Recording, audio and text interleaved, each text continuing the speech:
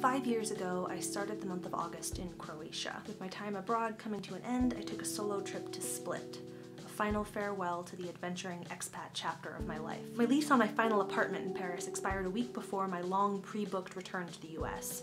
Seeing this as my last chance to travel Europe on the cheap, I looked at a map with an eye towards beaches for nursing those separation wounds. Years earlier, my younger brother and I wound up unhappily skipping Croatia on our backpacking trip, and Google told me that Split was a good place for beaches in Croatia, and so off I went. This particular trip was strange, meditative, and also unexpectedly melancholy. A disclaimer, while I am a strong proponent of solo trips, Split struck me as a place better enjoyed with friends. Still, I wandered the old city and mourned a transition I wasn't prepared to make. I filmed statues and the sea, so much of the sea, because in Paris I'd had the Seine and in Split I had the sea and in a few short days I would return to landlocked flyover country USA. I made a point of appreciating the sea. The trip was, in some ways, a sibling to a week I spent in London in 2008 between my college study abroad and my brother joining me for a backpacking adventure.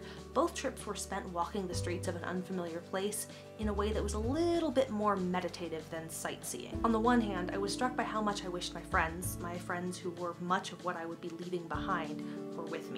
It seemed a questionable choice to spend this final week without them. On the other, though, it was good to remind myself of my own independence, my own ability to go and do and see and be and critically make my own meaning, define my own experiences. This is something that travel has given me time and again over the years. On a whim, I went rafting, I left my camera at the hostel that day, so here's some more of the sea. Because I was by myself, I was grouped in with this French family, and there was something weirdly poignant about the fact that even on my Croatian getaway, I was confronted with my fraught relationship with the French language. A reminder that my year in Paris was beautiful and rewarding, but not without its challenges. But this rafting trip was weird and wonderful, and along with our Croatian guide, we sang a trilingual rendition of In the Jungle, and I got to be a bizarre, inexplicable presence in someone else's family photo. I went on that trip as my last hurrah but I've been thinking of it a lot lately, and not just because Timehop is reminding me of it, but also because I've been relatively still for a while now. I've been finding smaller lessons in agency and exploration to be learned in that stillness, but I'm starting to think that somewhere along the way I let myself believe the lie that this was somehow it,